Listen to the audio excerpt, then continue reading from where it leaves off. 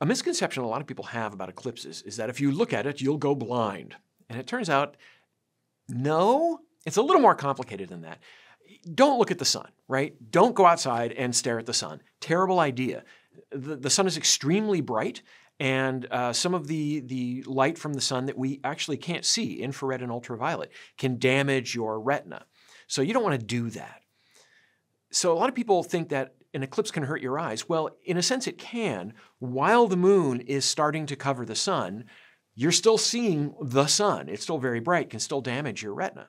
However, once the moon completely covers the sun, totality, the, the total solar eclipse then is happening, perfectly safe to look at it. And in fact, if you have eclipse glasses, which is the good way to look at the sun before totality. You take them off because they're so dark you won't be able to see anything during totality. You take them off, you can look at the sun, you'll see the corona, the sun's outer atmosphere. You'll be able to see Jupiter and Venus in the sky in the middle of the day, super awesome.